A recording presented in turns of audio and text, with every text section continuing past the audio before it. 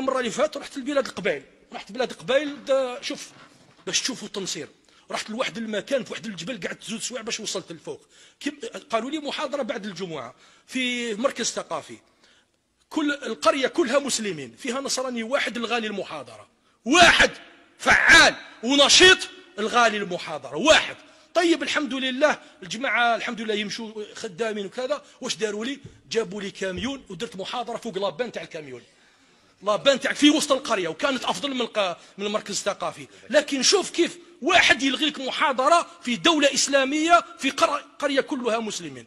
طيب لما درت المحاضرة فوق لابان جاء واحد من هذوك الجماعه الجماعة وحب يدير آه، مناظرة. قلت له طيب وداروا به الغاشي وكذا. طيب هدرت له بالقبيليه معليش. قلت له على بالك أنت ما عندكش الحق باش تدخل تكون نصراني. قال لي كيفاه ما عنديش الحق باش نكون نصراني؟ قلت له الإنجيل يقول لك باللي انت ما عندكش الحق باش تدخل في النصرانية. قال لي واش؟ جبت له النصوص. تفضل. الإص... الإنجيل متى؟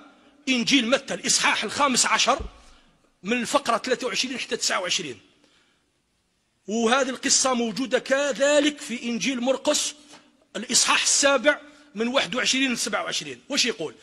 جاء كان المسيح يمشي مع تلامذته فجاءت امرأة في متى؟ سورية فينيقية وفي إنجيل مرقس كنعانية. المهم ليست يهودية وليست من بني إسرائيل. هذه كنعانية كما نقولوا فلسطينية ولا سورية آه، فلسطينية. المهم لم تكن يهودية ولا من بني إسرائيل. لأنها علمت بأن المسيح كان يشفي المرضى و- ويحيي الموتى بإذن الله. بإذن الله.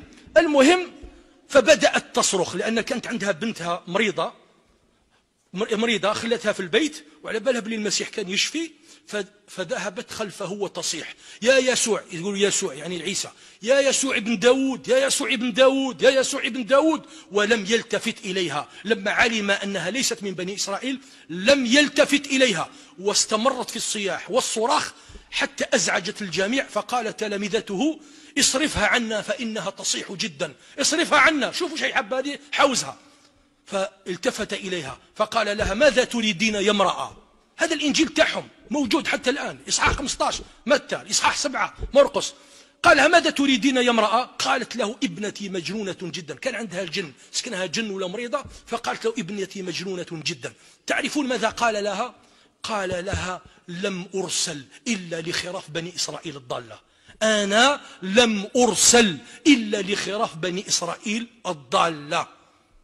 هذا دليل إذن أنه لم يرسل للعالم وإنما أرسل فقط لبني إسرائيل الضالة. ثم يا ليته سكت. لو كان سكت مليح. لكن زادوا نطقوه المحرفون اللي حرفوا الأناجيل. تعرفون ماذا قالوا على لسان المسيح؟ تعرفون ماذا قال؟ قال لها ليس حسنا أن يعطى خبز البنين للكلاب.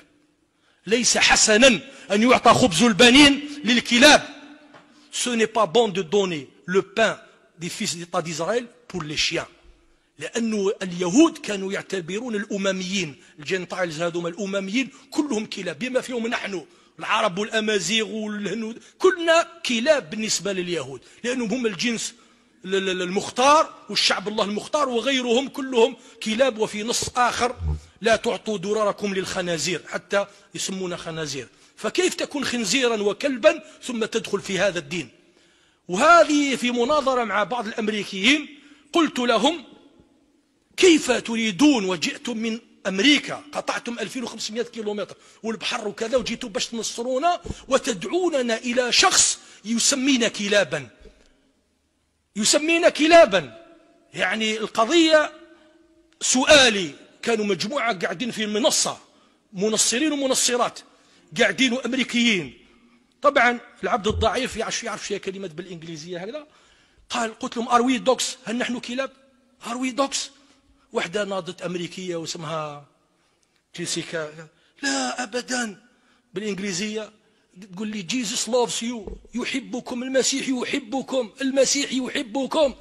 فقلت لها نعم إنه يحبوننا يحبنا يحبنا. لكن هل يحبوننا كبشر أو ككلاب؟ لأن هناك كثير من الناس يحبون الكلاب. هل يحبنا كبشر أم ككلاب؟